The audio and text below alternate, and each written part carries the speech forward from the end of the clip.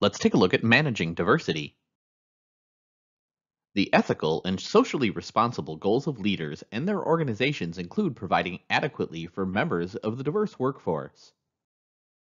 Ethical leaders should therefore feel compelled to use merit instead of favoritism or bias as a basis of making human resource decisions. A firm that embraces diversity is also behaving in a socially responsible manner. According to research and opinion, managing for diversity also brings the firm a competitive advantage.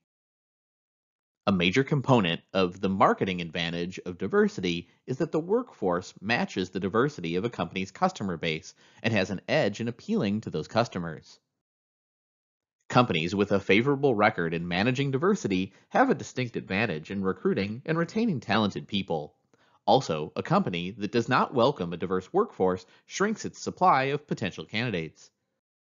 Heterogeneity in the workforce may offer the company a competitive advantage, as well as improve problem solving and decision making capabilities. Creative solutions are more likely to be reached with a diversity of perspectives. Similar to the creativity advantage, cultural diversity can enhance team performance, often because diverse backgrounds are associated with diverse information, knowledge, and perspectives that can be used to solve problems. The leader of a diverse group must help members collaborate, otherwise, the advantages of diverse perspectives will be lost.